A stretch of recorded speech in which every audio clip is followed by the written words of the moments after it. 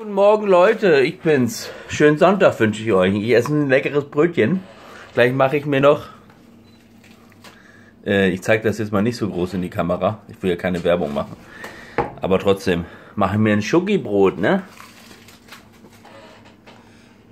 Ja.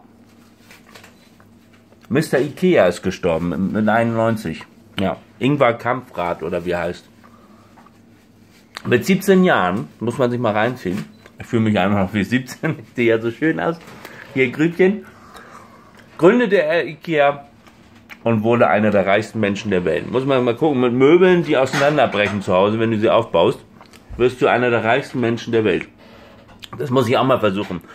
Ne? Kriegst du Möbel von Ikea und dann setzt dich rauf und dann brechen die auseinander. Nein, ich habe mal natürlich auch einen billigen Sessel für ins Tonstudio geschossen äh, hat jetzt zwar schon Risse, aber hat lange gehalten. 35 Euro.